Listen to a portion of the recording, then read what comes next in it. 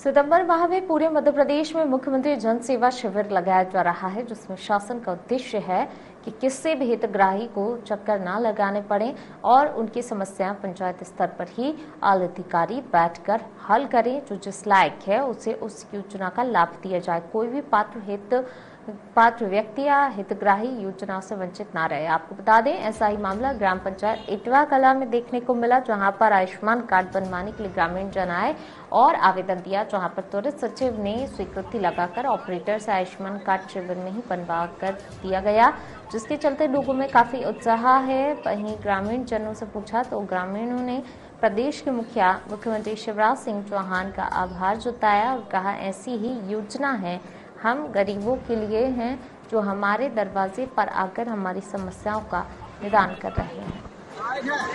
ग्राम पंचायत कुआँ का है ये लमपुरा है यहीं पंचायत लगता है कुआँ में। जी। वहाँ आंगनबाड़ी के लिए दिए गया दिए गया है मैं लाइट है और रास्ता भी नहीं है और आदमी बीमार पड़ जाते हैं तो बहुत दिक्कत आती है हम लोगों को। इसलिए आवेदन किया। कई बार दे चुके हैं इसमें आवेदन। आज तक कोई निराकरण नहीं है। आज जन सेवा अभियान के दौरान आज पैसे दिए हैं हम सब लोग।